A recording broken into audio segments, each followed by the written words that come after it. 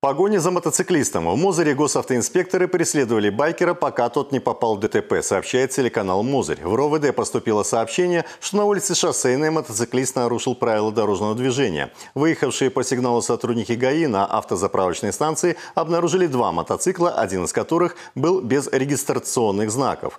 В то время как один из парней стал предъявлять свои документы, второй сел за руль мотоцикла и попытался скрыться. Началось преследование, во время которого водитель совершил 7 административных правонарушений и к тому же попал в ДТП. За прошедшие сутки на территории Гомельской области было зарегистрировано 27 дорожно-транспортных происшествий, в которых также пострадали люди.